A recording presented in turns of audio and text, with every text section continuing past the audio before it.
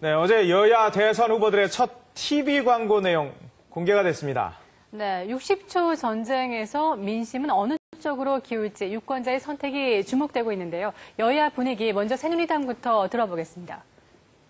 새누리당 중앙선대위 변추석 홍보본부장 전화 연결돼 있습니다. 변 본부장님. 네, 안녕하세요. 네, 어제 저 박근혜 후보 선거 캠페인 광고 처음 공개가 됐는데 만족하세요? 네, 뭐 조마조마했는데 뭐 대단히 만족합니다. 예, 예. 왜 조마조마하셨어요? 아, 뭐 어떤 어떤 광고가 나가고 나면은 제작자는 항상 그 반응에 대해서 네. 아, 항상 그 어떤 반응이 나올까 하고 이제 조마조마하는 게 뭐 속성이죠. 예, 아. 예, 예, 예. 이 광고를 반응이 예. 좋았군요. 네. 네, 이 광고를 보면 얼굴 상처 드러냈잖아요. 박근혜 후보의 그 얼굴 상처 드러낸 모습이 첫 모습인데 참 인상적이었는데 어떤 거를 강조하고 싶으셨던 건가요? 예, 그 이번 광고는 그 소재가 우리 박근혜 후보의 상처였죠. 보시, 예. 혹시 보셨는지 잘 모르겠지만 지금 화면에 예. 보이고 있습니다. 아, 그렇습니까? 네. 예. 예, 이 거는 뭐 잘 아시다시피 2006년에 우리 후보께서 지원 유세 때 테러를 당하시고 난 이후에 네. 에, 이제 여러분 그 어, 뭐야 그 마, 마친 상처였습니다, 그죠? 그래서 네. 이 상심한 그때 그 이 상처가 죽음의 문턱에까지 갈 정도로 굉장히 심한 중상이었습니다, 그죠? 그랬죠. 네.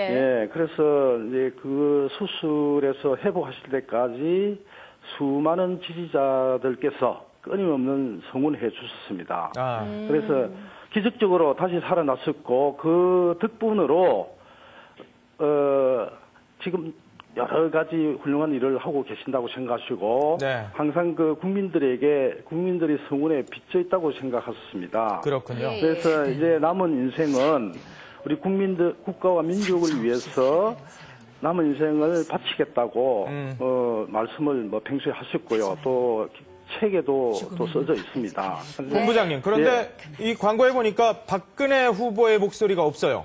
왜 그러죠? 아 지금 뭐 후, 후보님의 목소리하고 지금 그 영상 상태가 조금 이게 맞지를 안 해서 어. 네.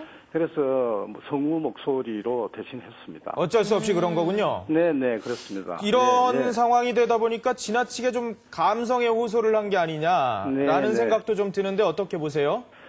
어, 그 저는 이제 이 사 건 자체가 우리 후보님이 살아오신 역경입니다. 그래서 이, 이 자체가 그냥 드라마이고 네. 또 스토리텔링이기 때문에 에, 감성적으로 진정성 있게 말씀하시, 보여주는 것이 이 광고가 훨씬 더 호소리 강하겠다 해서 어, 또 첫 광고 광고의 또 특성상 국민들에게 감성으로 다가가야 되겠다 이성적인 메시지보다 네. 그래서 TV의 속성인 매체 속성 때문에 다소 감성적으로 접근했습니다. 그렇군요. 아마 네. 예 예 예. 이 선거 로고송도 공개가 됐잖아요. 네네 네, 어떻게 그렇습니다. 결정된 건가요?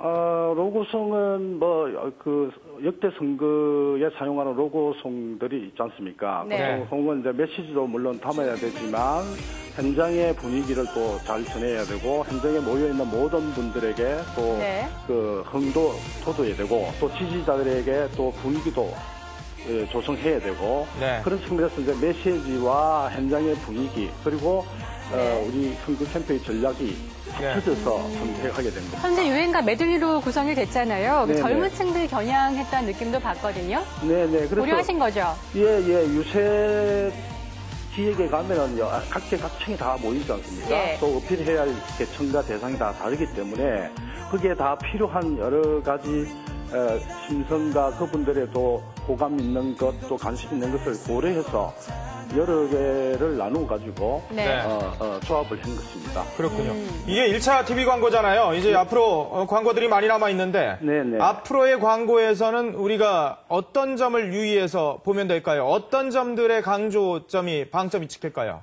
아, 예, 그 앞으로의 광고는 역시 뭐 이건 선거를 위한 광고이기 때문에 저희들이 펼치고 있는 메시지 전략과 잘 그 매칭이 돼야 되겠죠. 네. 예, 그래서 앞으로 한 그래서 선거 상황에 따라 다르겠지만 한 5차 정도로 방송할 예정에 있습니다. 네. 그래서 어제 방송에서 보신 거는 그 첫편 인트로이고요. 아. 네, 나아가면서 이제 조금씩 아마 밝아질 겁니다.